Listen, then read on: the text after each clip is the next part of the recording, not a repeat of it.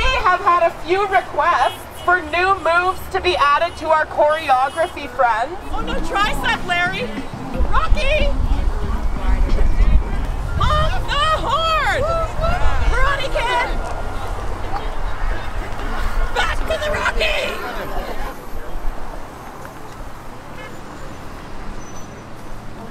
Our side is trying to propose suggestions that move towards what the employer is demanding, but without giving up our rights. And every single time they have never wavered in what they are demanding from us. They are aggressively moving against this pension security. So I we all feel that's why we're all out here into the third week. It's important to stand up for. This is our this is our money. We just want to keep a say in it.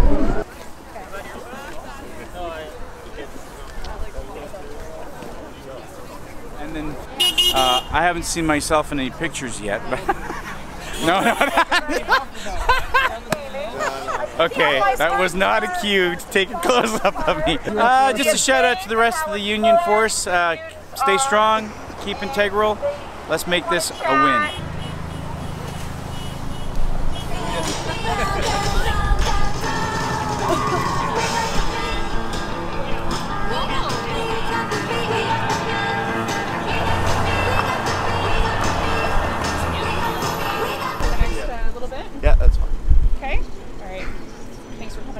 Appreciate your uh, understanding.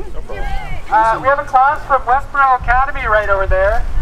They were really curious about what was going on here, so yeah, make them feel welcome. They're here to learn about a strike, and they're uh, they're also going to interview. They, they asked us a whole bunch of really hard-hitting questions, so uh, if you want to go over and talk to them, I'm sure they'd be happy. I'm a contract instructor, right? So I'm still working, but I'm here to support the people that help me teach my course.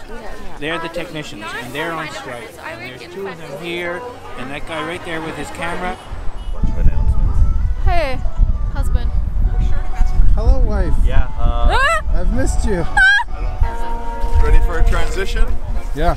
At the beginning, some of our members, you know, didn't feel comfortable engaging the public and didn't know exactly how to explain in the soundbite version of this world with our causes. And now they're busy handing out pamphlets, giving out buttons, engaging moms and dads, talking to strangers and the public, and being proud of what we're doing and how we're standing together. I'm so proud of our members.